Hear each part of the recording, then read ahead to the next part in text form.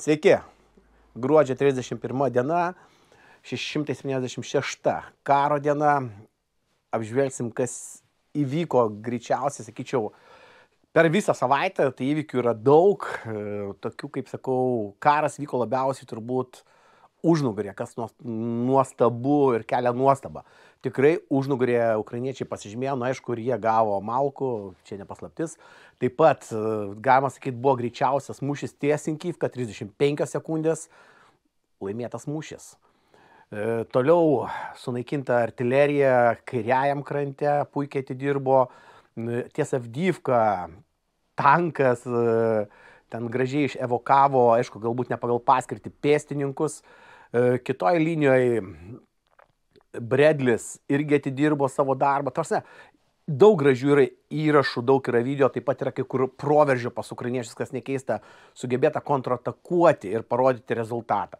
Tai apie tai to, toliau pirmiausia norėčiau padėkoti visiems, kas remiat kanalą, žiūrėdami, aišku, jį, prenumeruodami, tai yra aktualu. Toliau E, spausdami like, aišku, labai dėkingas visiems, kas padedat per kontribį, tai yra pagal mėnesinę, tai yra kanalo išlaikymui, taip pat kas prisijungėt e, paremti ukrainiečius e, pagal programą, jūs nusiperkat prašaudimo programą, mokymo programą, vieną iš dviejų, mes jums suteikiam ten viena 60 eurų, kita 140 eurų, viena tai supažindinta, kita platesnė. E, jūs gaunat pramogą, mes nuperkam automobilį ir išlaikymui. Tai pirmiausiai renkam automobilį per bi programas, dabar netoli 2000 eurų, taip, šventę suprantu, visi išsileidom, lauksim po švenčių periodo, taip pat yra dovanų, e, tokių parsivežęs iš Ukrainos nežinau, parodysiu, ką parsivežiau suvenyrų, iš tikrųjų mašina sugedus, dar servisą, tai reikia mašiną pasimti, e, po naujų metų sutvarkys. Tai va, pradėkim nuo apžvalgos, kai aš sakau, yra į ką į ką, į ką, apie ką tiksliau pasišnekėti, tai pradėsiu pirmiausiai nuo pirmo video, tai yra pirmas video, man tai patiko tai, kad e, pats greičiausias mūšis, koks gali būti, tai buvo būtent e, ties Sinkivka, Čia ukrainiečiai tikrai puikiai pasidarbavo per, vat apie tą, ką aš ir kalbu, kad e, mūšis turi būti greitas ir be jokių užuominų, kaip sakant. 35 sekundės, sunaikintas tralinis tra, tankas, kuris tralavo, aišku, ten buvo paruošta pasala greičiausiai, nes tra, tralas užvažiavo ant minos, o detonavo ir po tanku viskas. Tai yra inžinierių geras darbas, pasala paruošta buvo. Užsirovė tankas, toliau atidirbo artilerija, sunaikino dar vieną tanką ir du BMP. Tai čia yra idealus, kaip matot, rezultatas artilerijos darbo. Kaip aš sakau, va, čia yra klasikinis mm, gynybos požymis skydas, stabdau, tralas sustabdytas, kertu kalavijų, artilerija atidirbo. Kur dronai? Ar jie reikalingi? Jeigu jūs pasiruošėt mūšiui, jūs matot patys, kad mūšiui nereikia dronų, nėra kur panaudoti, jeigu viską teisingai atlikai namų darbus. Va čia aš, aš apie tai kalbu beveik jau pusę metų, nuo birželio mėnesio, e, kad ukrainiečiai turi persiorientuoti e, su mąstymu, su planavimu, ir galbūt išnaudoti tai, ką turi pirmiausia, o ne orientuotis į dronus. Šiai dienai tai, ką aš matau, į dronus bus investuota netoli vieno milijardo, jeigu pat gamins vieną milijoną dronų, jie čia planuoja daryti atakos, tai yra mažiausiai pusę milijardo. Mažiausiai, o šiaip galima skaityti arti milijardo. Jeigu jie įdėtų milijardą į artilerijos šaudmenų gamyklą, manau, tikrai turėtų žymiai didesnį e, rezultatą ir žymiai daugiau pasiektų tokiu būdu. Tai vat, e, vienas iš būdų, kaip ir sakau, parodau, kad 35 sekundės, viskas, mūšis laimėtas. Taip pat buvo e, atsakas rusų masinė ataka Ukrainai Belgorode, Kaip matot, dega puikiai sandėlys, tai yra karinis sandėlys. Aišku, gaila, kai aš sakau gaila, žmogiškos pusės žuvo Rusijoje civiliai asmenys, bet kiek aš žiūrėjau video sprogimus, tai nėra dronų sprogimai, nes kadangi buvo dronai naudoti, dronas gabena apie 30 kg sprokstamos medžiagos arba mažiau, o ten sprogimai tikrai ne 30 kg. Tai yra e, oro gynybos sistemų raketų sprogimas. Reiškia, oro gynybos sistemų raketos krito ant savų civilių gyventojų. Praktiškai Belgorode galima sakyti, e, didžioji dauguma žmonių nukentėjo nuo savos ugnies. Blue and blue vadinasi. Čia, kai sakau, rusiška taktika. Jiems negaila savų žmonių, jie jų negaili ir, nu, ką aš galiu pasakyti? Taip yra. Čia jau e, tegul patys ir aiškinasi vidiniai politikai, apie ką mes sakom. Putinas geras, kaip jie aiškina, Putinas čia jėga, o naikina savo žmonės. Nu, atleiskit, čia yra jau, kai sakau, biški, biški, biški perlenkta. Toliau sekantis video, nežinau iš kurios linijos, bet man patiko tai, kad uh, uh, ukrainiečių dronas vykdė žvalgybą ir pamatė, kaip rašys, tai vad puikiai naudodamėsi tankų naikina savo pozicijas, negana to, kad tankas dirba labai gerai, puikiai dirba, prie viso to dar kai matosi ir artilerija pagelbėjo, o galiniam variante pėsnikai prašturmavo savo padalinius, dalinius. Tai čia yra turbūt vienas iš tupiausių, kokių tik gali būti e, karo variantų, kai tu šturmuoji savo padalinius, savo dalinius. Nu, tai čia yra Umom Rasijų непонятки, sako, blaivas nesuprasi, o kadangi artėja nauji metai, tai manomai jie tikrai nėra visiškai blaivi. Tai čia ir parodė savo, kad umom Rasijų непонятки. Tai va, Sinkivko, pradėjau nuo Sinkivkos, iš tikrųjų, tuo ir aš apžvelgsiu, kas vyksta fronto linijai, arba e, kas įvyko pirmiausiai savaitės bėgėje. Tai pradėkime nuo to, kad e, nuo 23 iki 29 gruodžio situacija Donetsko kryptimi tradiciškai pasižymėjo didžiausių karinių susirėmimų skaičiumi. Čia nieko naujo, jų vis didėja. Aktyvios kovos vyko Avdyvkos, Bakhmuto kryptimis. Donetsko srityje vyksta ir dar daugelį mėnesių vyks dideli karo veiksmai. Čia rusai viską stato ant kortos, bandydami sutriuškinti Avdyvikos įtvirtinimus, kuriuos nori paversti dar vienu Bakhmutu. Taip, jiems reikia šito dalyko, niekas neslėpia, nes uh, jų tikslas yra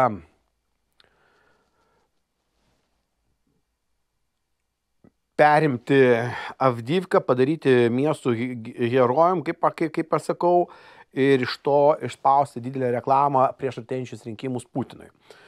Einant link Hersono krypties, Ukrainos ginkluotosios pajėgos toliau mūšiais laiko prieplauką prie Krinky, o atsiprašau, galbūt apie Hersoną pakalbėsim gale, arba galim nuo Hersono pradėti iš tikrųjų. E, taip, e, prie krinky įtin sudėtingomis sąlygomis, nuolat apšaudomos artilerijos. Perkelė pastiprinimą per Dnieprą. Tai netgi video buvo kaip e, kateris Tiro plaukia Dniepr ir jį šaudo artilerijos sėdiniai krenta, netgi dronas atakavo, bet jis nepataikė. Telegram kanaluose kažkur buvo, žinokit, visko nesudėsiu, visko neapsakysiu. E, matau pas mane Telegram kanale, puikiai dirba Hebrytė, dėkui Saulis, dar ten kažkas yra labai dėkingas, deda gerus video, e, aprašote, jeigu ten kažkas įdomaus, aš irgi įdėjau keletą. Šiame rajone rusai vis dar nusileidžia Ukrainos ginkluotosiam pajėgom pagal FP dronų naudojimą, kurie daro didžiulę žalą priešo gyvai jėgai. Ukrainos ginkluotojų pajėgų priešakyje, kairiajame Dniepro krante, Tai šitoj vietoj daug ko nėra ką kalbėti apie, apie, apie šitą gynybą. Aš kai sakau, viskas yra idealu. Aš sutinku su tuo, ką daro Ukrainos pajėgos e, kairiajame Dniepro krante. Dabar bandau susirasti kairį Dniepro krantą, kadangi pradėjau ne nuo tos pusės. Aišku, tada e, galima paleisti video. Šią momentą aš jį galvau paleisti kaip saldainiuką būtent e, finalui, kaip Ukrainos oro pajėgos, ta prasme, ne oro pajėgos, o dronais kontroliuoja e, artilerijos savo sunaikinimą. Gražus vaizdas, kai matot puikiai, ką atlieka dronai, tai yra ugnies koregavime, greičiausiai didžiajaus dronas, suseka būtent haubica, jinai važiuoja į tipo pasislėpti miške, gauna artilerijos ugnį ir supleškina. Kaip ir su visų ekipažu. Vienas šūvis pataiktas tiksliai. Pirmas šūvis pataiktas tiksliai. Ką tai reiškia? Reiškia svarbiausiai duoti tikslius gerus duomenis. Jeigu tu davai gerus tikslius duomenis, šio laikinė artilerija pataiko iš pirmo šūvio. Čia kai man bando įrodyti, kad tai nepataiko. Taip, tai yra smagu matyti visą tą rezultatą daugiau aš, e, kaip pasakau, nelabai ką ir galiu pasakyti. Aišku, jinai buvo būtent e, apšaudyta kažkur kairiajam krante, tiksliau koordinačių nelabai galiu pasakyti, bet rezultatą matote. Taip, e, krinky laikosi tikrai sunkiai, galima sakyti, čia yra sutelkta daug priešo pajėgų, stipros priešo pajėgos, bet yra ir gera naujiena, dvi brigados buvo išvestos iš mūšio, tai yra rašysnės brigados, atgal grįžo į savo dislokacijos vietas, per, perginklavimui ir atstatymui. Tai reiškia, jos yra sunaikintos ir išvestos iš reikiuotės. Mm, daugiau čia, na, kaip sakau, siaučia partizaniniai veiksmai, tai būtent salose neleidžia rašystams judėti niekur. Kai matot, Oleški miestelis lieka pusiau apsuptyje, toks aplinkui bandoma apsupti ir daug čia nėra ką kalbėti, kai sakau, dirba ukrainiečiai, laikosi, aišku, laikyti šitą kairį krantą kol kas taktiškai aš nesuprantu prasmės, sąžininkai sakau, nesuprantu, nebent dėl to, kad ruošiamasi daryti uh, E, judesi link e, Krymo, bet reikėjo daryti anksčiau, kad išeiti bent jau į Brilyvką, iki čia, kad būtų šita Nova Majačka, va, va, va šitoj vietoj, tai aš tada suprasčiau, tada bent jau artilerija nepasiektų dešinio kranto rašysinė artilerija. Dabar gaunasi, kad rašysinė artilerija pasiekia ir dešinį krantą ir čia laikom plasdarmą 5 km gilyje, tikrai daug žūsta karių. Aišku, galbūt vienas iš sumanimų yra ištemti priešo pajėgas, tai ką padarė ukrainiečiai, ištampė, nes čia buvo permestos pajėgos ir iš Avdyvkos, ir iš Kriminos pusės, tai, sakykim, savo pasiekė. Bet tai, kad čia stovėti ir laikyti tą 5 km plasdarmą, nežinau, kol kas net forsuoti upiai nesudarytos sąlygos, kad galėtų daryti forsavimą, jiems reikia vis tiek padaryti plasdarmą su giliu kokį 30 km pritraukti oro, e, oro gynybos pajėgas, tai vat, ką ir padarė ukrainiečiai, kai numušė vis dėlto lėktuvus, tai buvo klasikinis variantas, kai oro erdvė buvo apginta. Taip, jeigu mes judam toliau, Harkovo, grįžtam prie Harkovo krypties, tai yra mūsų Sinkivka. Sinkivkoje, kaip ir pradžiai rodžiau video, puikiai buvo gynyba, tai būtent jinai ir čia ir buvo kažkur tai judesys nuo Masiutivkos link Sinkivkos arba nuo Piešai Liman. Vat šitoje va vietoje kažkur ir buvo padaryta ta graži 305 sekundžių ataka. Net rašystai nesuprato, kas įvyko. Savo telegram kanaluose kelia rankas, kai aš jokauju ir purto galvo, kas ten dedas, niekas nesupranta. Tai va aš dėl to sakau, rasijų mom nipanėti. E, Šitoje vietoje ties e, Orlenka arba Jaginė ukrainiečiai gerai kontratakavo, tai galit pažiūrėti, kontrataka buvo vykusi ir labai puikiai vykusi. Opa, matot, nedidelis plasdarmiukas įeitas, bet įeitas, įkirsta. Reiškia, ukrainiečiai čia sugebėjo pralaužti šiek tiek pozicijų, perimti keletą pozicijų, laimėti taktinį mūšį. Viskas yra sėkmė. Sėkmės rezultatas. Čia aš daugiau nelabai ką ir galiu pasakyti. E, niekas nėra nepakeitę Svatovos kryptį, čia ukrainiečiai laikosi puikiai pozicijose. E, didžiausias dėmesys yra kreipiamas dabar būtent į Krieminają, tai vad šį čia. Ir čia ties Krieminaja būtent rašystai bando išeiti į priekį Tai ta prasme, kad e, prasilaužti link e, Strigų upės pavadinimas. Link Torska, Jampolivka, Terni ir čia bent jau minimaliai e, upės žerebėts. Ir minimaliai u, įsidėstyti, užimti gynybą. Bet kol kas jiems tai tikrai nepavyksta. Mm, kas e, bus toliau, sunku pasakyti, nes čia yra tikrai sutelktos didelės pajėgos. Tai vat čia būtent ką dabar matom, įdedu video, e, kaip tankas Kreminos pusėje, jeigu neklystų Kreminos, aš galiu ir suklysti, evokavo savo karius. Aišku, klausimas tanko panaudojimas šitoj vietoj tikslingumas, kai galėjo atvažiuoti Bredlis ir tą atlikti, nes tankas vienas nėra, yra Bredliai dengia arba šarvuočiai, bet šiam momentui tankas vienas išvažiavo, į artimą kontaktą priešo pozicijas apšaudė ir ant savęs susisadino pėsnikus, juos išvežė. Taip, graži operacija, keliam rankas.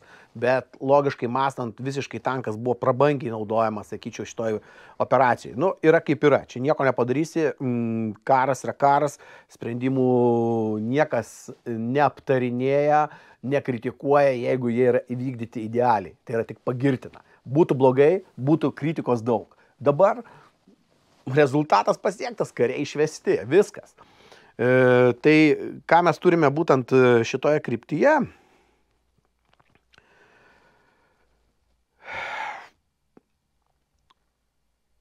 kaip ir minėjau, tai savaitės bėgė. Harkovo kryptyje prie Sinkivkos vyksta vietiniai mūšiai, abi pusės aktyviai stato įtvirtimus. Žiemos pabaigoje ši kryptis gali tapti kaip ta Avdievka. Todėl būtina iš anksto tam ruoštis, kad Rusijos puolimas virstų neigiamu puolimu. Teisingai. Aš su tuo sutinku. Čia yra ne mano žodžiai, čia yra analitikų, Ukrainos žvalgybos analitikų, su kuriais kalbėjom, čia jie tokią mintį ir metė. Man patinka šitą mintis, aišku, patinka tai, kad ruoštis reikia, blogai, kad gali tapti antrąją Avdyvką, gaila, bet kai matot, jeigu jie čia puikiai vys, vy, vy, vykdys gynybą, ruoš e, gynybinius variantus, manau, kad rusams bus ką veikti ir čia nebus toks lengvas pasivaišymas, kaip jie įsivaizduoja. Tai šitoje vietoje aš e, labiau linkęs e, palaikyti Ukrainos pusę, kad jie atlaikys. Toliau mes turime įtemptą situaciją realiai ties Pirinė. Čia yra, kaip ir minėjau, prasilaužimas. E, dabar aš nesimenu, ar ukrainiečiai atkovojo keletą pozicijų. Man atrodo, ties Pirinė ukrainiečiai atkovojo keletą pozicijų. Mm, čia irgi yra geras ženklas bet gali būti, kad bus nepažymėta. Gaila, Deep State Mapas nerodo. Ties pirmie buvo keletas pozicijų atkovota. Tai kas keiščiausia, kad e, ukrainiečiai perėjo į gynybą, o vis dėlto vykdo kontrpolimo operacijas. Nu, taip ir turi būti. Kai sakau, geriausia gynyba tai yra polimas. Tai tą ukrainiečiai ir parodė. Perėjo į gynybą ir dabar šiek tiek turi keletą pozicijų ties Spirnė. Spirnė yra įtempta padėtis, nes čia rašystai nori išeiti į Vimką, iš tikro jiems reikalinga pati Spirnė, nes jau kelias, kuriuo aš judėjau tada, kai buvau link Spirnės, sakė, yra apšaudomas, judama kitų kelių per žymiai didelį ratą. Bet kol kas, vat, keltą pozicijų laimėjo, tai reiškia, jau yra gerai. Žiūrėsim, po gerą mėnesio grįžtu atgal su dronistų komanda, tai išspirinės ir Makyvkos turbūt teks dirbti, tai komandai dirbti, ne man dirbti, aišku, dėkingas Blue Yellow, tikrai Jonui Omanui labai dėkingas, pagelbėjo į salas, perdavė vieną Starlinką ir EcoFlow, kurio prašė vyrukai, labai dėkingas. Tai vad uždarė mano klausimą Blue Yellow, ta prasme, Tai yra geras bendradarbiavimas. Sakau, aš renku tik pagelbėti šitai komandai. Jeigu kažkas paprašė, pabandysiu gauti, aš tą ir padarau, pabandau su vienais pakalbėti, su kitais, kas gali padėti, padeda.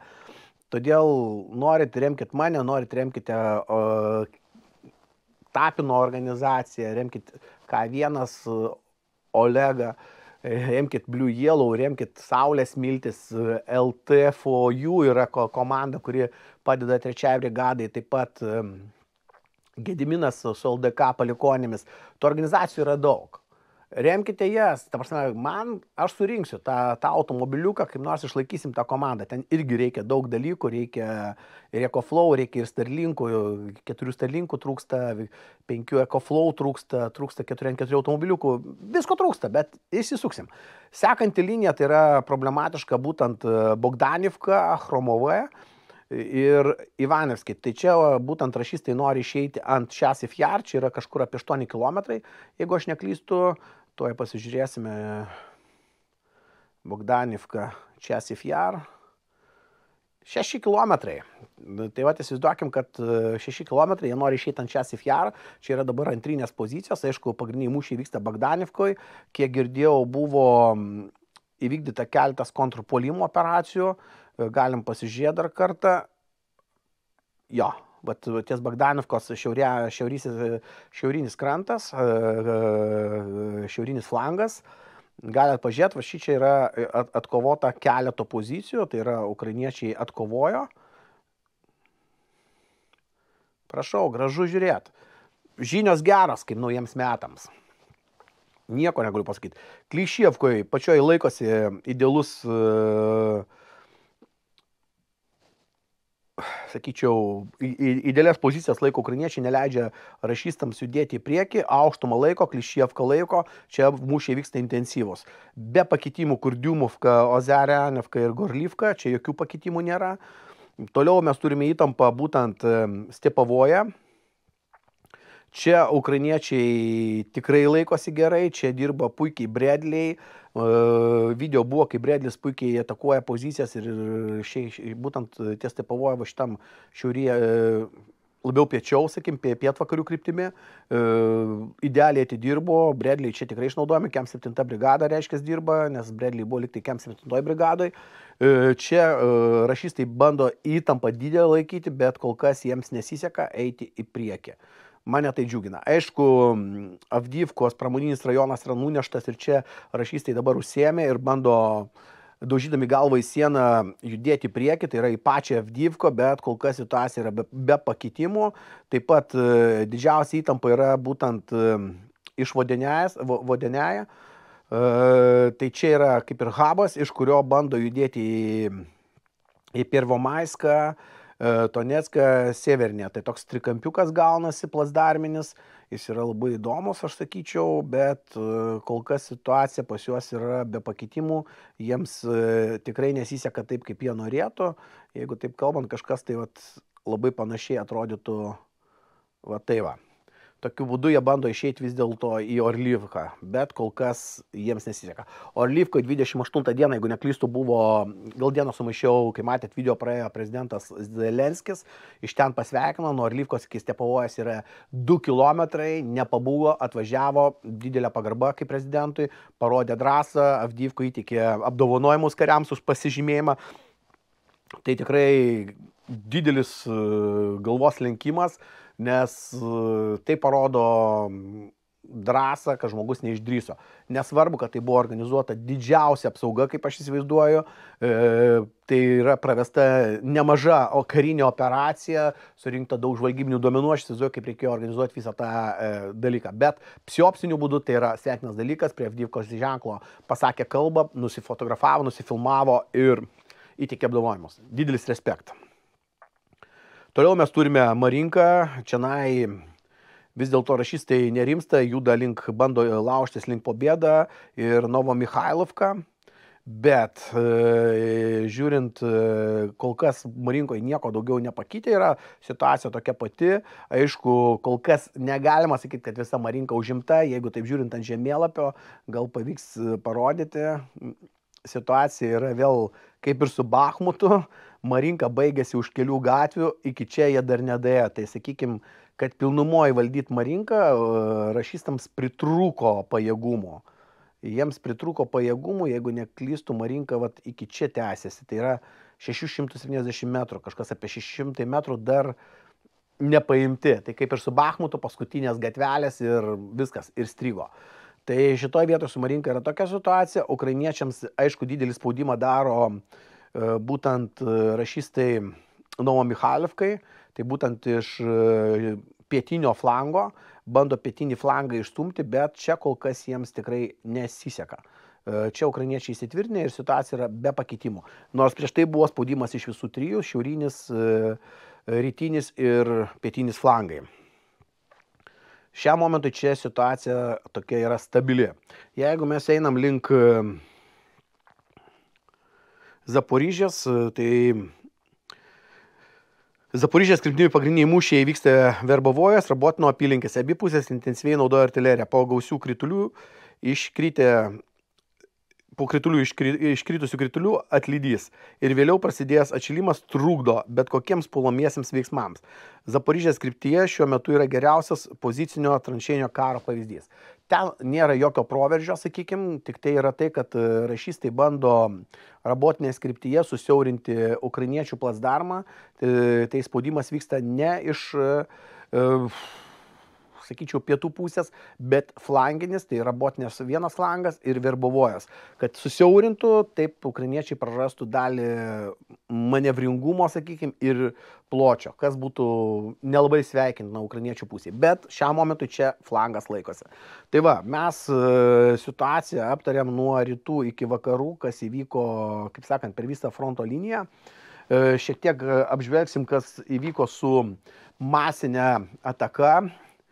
Čia Kievas buvo apšaudytas tikrai, sakyčiau, viena iš stambiausių oro atakų, tai yra gruodžio 29 dieną, aš apie 10 val. kalbėjau su kolega, kuris buvo centre, tai tiksliau centre važiavo į darbą, tai sakė, rūksta Kievas. Tai buvo labai įdomu, kas tai vyko.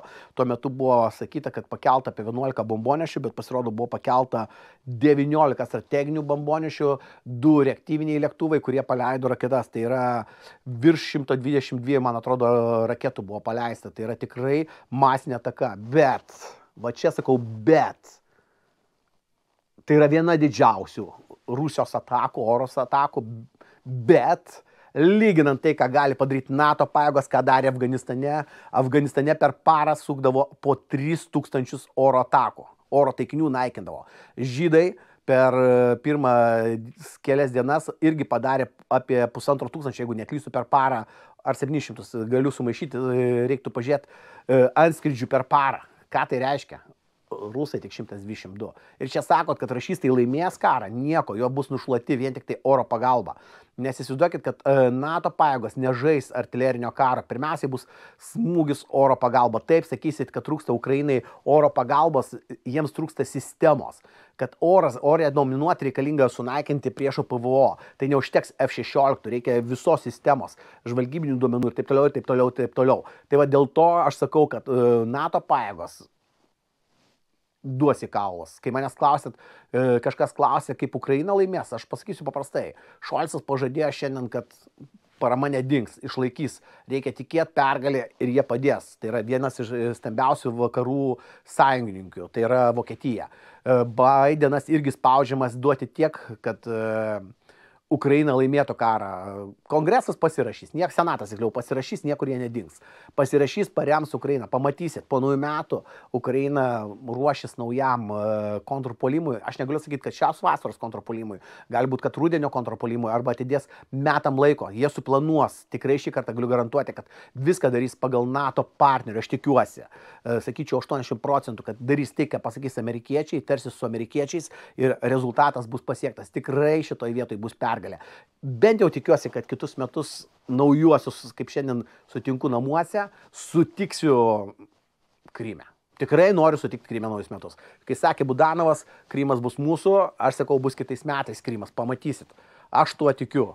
Tai galite užsirašyti, nu, jeigu nebūsiu teisus, nežinau, reikia iššūkį kažkokį padaryti, nu, būsiu suklydęs, bet šią momentą aš jais tikiu, nes iš tos, ką aš matau ruošiamos paramos, kas yra ruošiama, daroma, kaip viskas vystosi, į kurią pusę. Galiu pasakyti, kad Krymas bus tikrai Donetsko, Luhansko, negaliu pasakyti, ar bus e, kryptis išlaisvintos, Krymo, Hersono kryptis bus tikrai. Mariupolis gali būti frontas sustoti ties Mariupoliu, bet gali būti ir kad Mariupolis bus išvaduotas. Tai va šitoje vietoje aš ant kitų metų statau tokį, tokį, tokį kaip sakyčiau, totalizatorių už ukrainiečius ir aš jais tikiu. Kokiom priemonėm pasieks? Tai jūs patys matot, kokiu priemonių reikia, kokios priemonės ruošiamos ir kokios bus priemonės duotos. Netgi dabar, kai matot, duotos jau um, pripažino Britai, kad davė uh, Storm Shadow ne 220 km, pasirodo 500 km siekiančios raketas, puikiai nuskandino desantinį laivą, kai matom, to, tarsi, rezultatai yra geri. Tai vad, uh, kalbant grįžtant prie Avdyvko, tarsi, prie 29 dienos atakos rusai naudojo beveik visų tipų raketas, išskyrus kalibrą, nes kadangi laivynas užblokuotas, o jos buvo, turi būti leidžiamos iš laivų. Aišku, dar desantinis laivas nuskendo, gali būti, kad ir ten buvo pakrauta partija kalibro.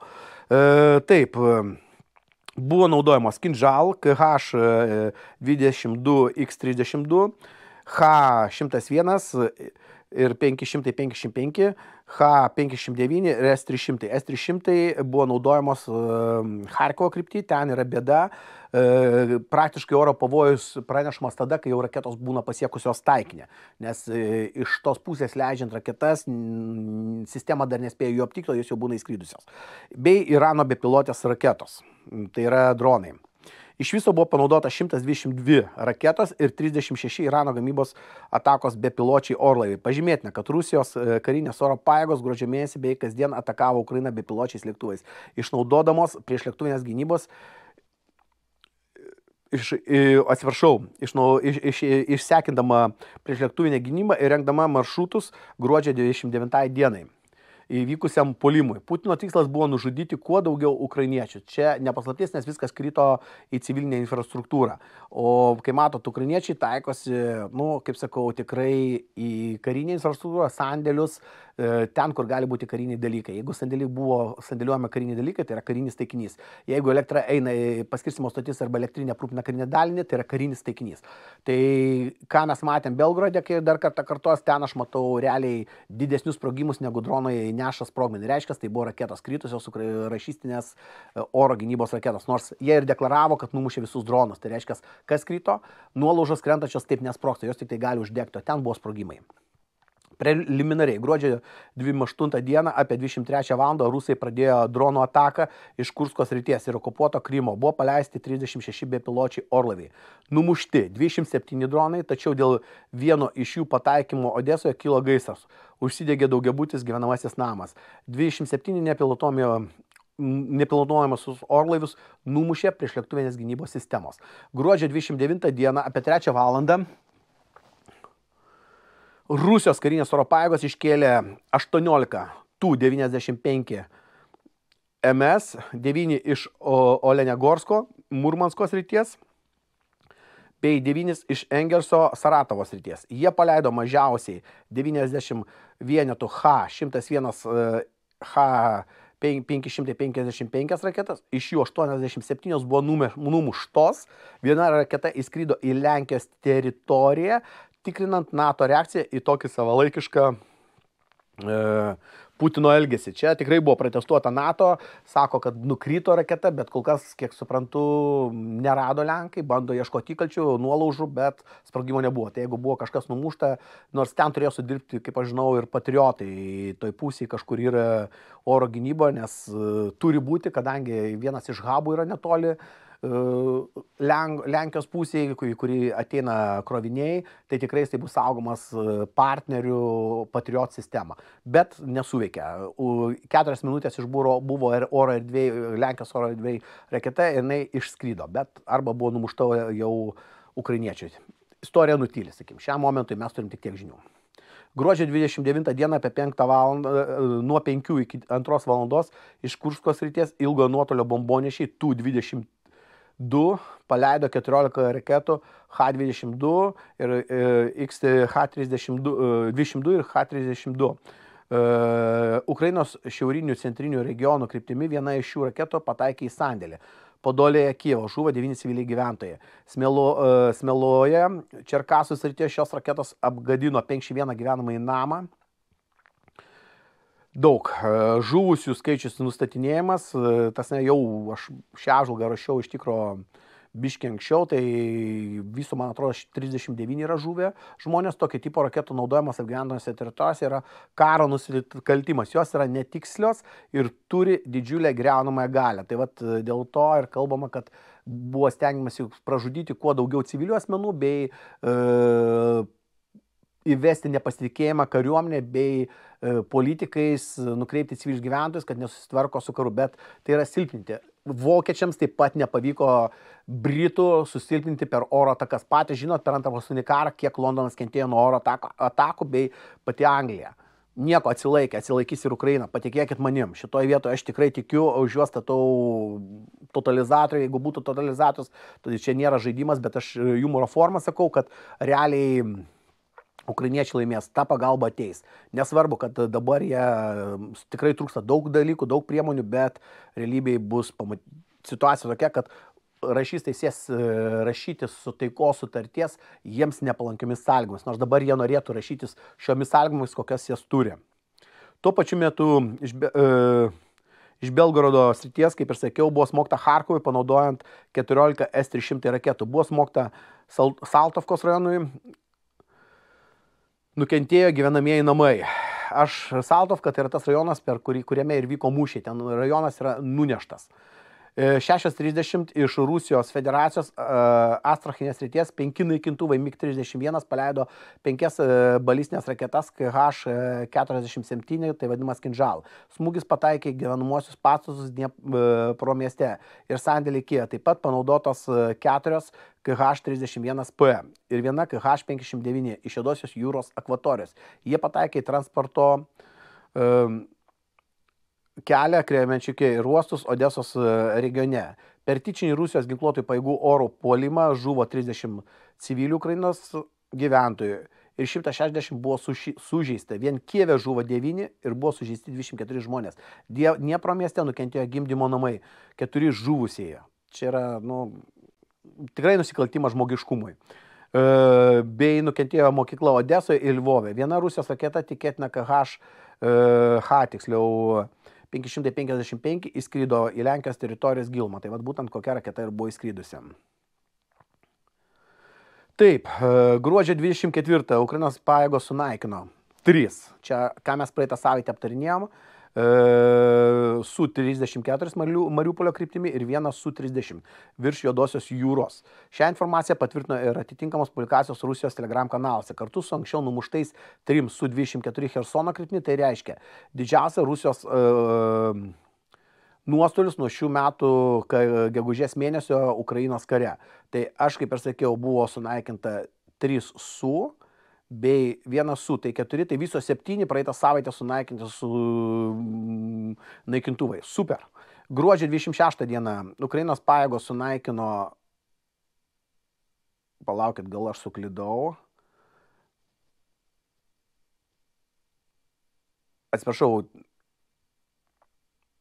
Ne, taip ir yra. Viso ir 304 buvo 3 e, sunaikinti 3, bei 3 e, su 24 Hersono, jo, viskas gerai.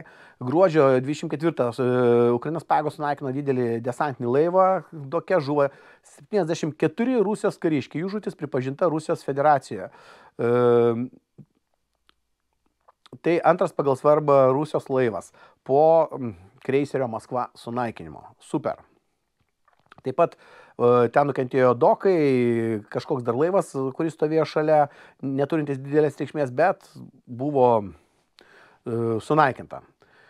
Tai toliau žiūrint išvadas galima daryti Novo Čerkasko sunaikinimas dar kartą patvirtina asimetrinį Rusijos kariuomenės silpnumą, kuri, kovo, kuri kovoja tik mėsos atakų pagalba. Taip pat įrodė Ukrainos ir vakarų ginkluotės technologinį pranašumą, turint omeny Putino norą žudyti milijonus e, rusų vyrų. Rusijos ginkluotojų paėgų ginkluotosios ginkluotės sunaikimas vakarietiškais aukštųjų technologijų ginklais yra vienintelis būdas sustabdyti Kremlių. Rusijos juodosios laivynas gali nustoti egzistavęs vien per pastaruosius keturis mėnesius, sunaikinta mažiausiai 20 procentų jo sudėties. O Rusija iš esmės negali vienašališkai užkirsti kelią Ukrainos grūdų eksportui. Eksportuota apie 13 milijonų krovinių vien tik iš Šidosios jūros. Per Juodąją jūrą Ukraina apie 13 milijonų krovinių. Tai reiškia vien, kad tik grūdai ir kiti kroviniai judėjo jūrą. Tai yra gerai. Jei Rusijos laivai ir naikintuvai bus sunaikinti e, tiksliaisiais ginklais, tankų armados įdegė gintos bandant prasiveršti, tai bus geriausias įspėjimas Putinui, kuris rimtai galvoja apie Rusijos kaiminių šalių okupaciją. Aš apie ką ir kalbu. E, kai mes sako, kažkas iš apžvalgingų sakė, kad reikės e, kariauti kiekybinį karą, ne, turi būti tikslingos, tikslios technologijos, smūgis į tikslinį adresą. Tai kaip ir padarė praeitą savaitę, e, ukrainiečiai sunaikino sandėlius Donetsko kryptie, tai Gorlyvka, Makijevka, Sinovata ir Ilovaiskas. E, Donetskį ir Makijevkoje į Lovaiskį degė kūro sandėliai. Tai reiškia, jeigu degė kūro sandėliai, reiškia, buvo tikslinis smūgis, tai kad be šito kūro tankai nejudės. Jeigu dar pataikius į amunicijos sandėlius, tai tankai neturės ir kariai šaudmenų bei artilerija. Tai supraskim, kodėl ir sakau, kad e, NATO pajėgos iš tikrųjų turi didelį šansą, nes jos valdo daugiau žvalgybinės informacijos, turi daugiau priemonių, tai tie patys savakai, e, lėktuvai, kurie surinka daug informacijos iš mūšio lauko, e, visos kitos žvalgybinės priemonės jie sudėjus į mūšio valdymo sistemą, davus užduotis e, tam tikrom e, sistemom, jos atliks savo užduotį. Reiškia, įsivaizduokit, kad Afganistane dar kartą kartuosios buvo 3000 smūgių per parą. Įsivaizduokit mėnesį laiko po 3000 smūgių į Rusijos teritoriją. Rusijos kariuomenė pati pradės bėgti ir pasidavinėti sraigtasparniam, kaip yra Irako kariuomenė pasidavinėjo amerikiečių sraigtasparniam. Taip, Ukraina viso to neturi. Gaila, bet aš manau, kad jinai laimės kitom priemonėm, bei e, remiama mūsų sąjungų. Tai tiek, norėjau pasakyti šiandien dienai, baigėsi, nu, kaip sakant, šie metai, uždarau paskutinę laidą šiais metais, gruodžio 31 dieną. Pirmiausiai e, sveikinu, kad sutiktumėt gerai naujus metus, laimingai, sėkmingai, kiti metai būtų žymiai geresni negu šie, taip pat su pergalė, kad galėtume švęsti bent jau Krymo išvadavimą, sakyčiau, tai būtų tikrai didelė pergalė Ukrainos e, pergalių sąraše bei karybos istoriją. Nepamirškit spausti like, nepamirškit komentuoti, nepamirškit e, paremt projektą, tikrai projektas reikalauja išlaidų, kol kas tai išgyvenu iš savo gaunamų pajamų, iš šaudyklos ir e, statybų. Taip pat e, remkit, kaip prašau, automobiliukui surinkti, būtų idealu nuvežti automobiliuką jiems sausio gale, 4x4 mini, tai yra miesto visureigiuką reikia nupirkti, arba Honda kokią, gal Nissaną, tas reikia 4x4, kad būtų visureigiukas. Bei visų kitų dalykų. Tai ten yra įdėtos e, sistemos, remkit e, automobilio ir karių išlaikymui, gausite apšaudimo programą, būsit e, šiek tiek apmokyti, tikrai reikia ruoštis karui. Aš kaip pasakysiu, mačiau, šiai dienai jau yra kalbos kviesti paruoštojo rezervą iki 60 metų atnaujinti žinioms. Tai ne, nelaukit rezervo mokymų, supažininkit šeimas, kai sakau, nereikia ginklų pirkti, karas prasidės, ginklų bus, patikėkit manim, bet reikia mokėti jais naudotis. Dėkui Jums uždėmesi ir iki sekančių metų.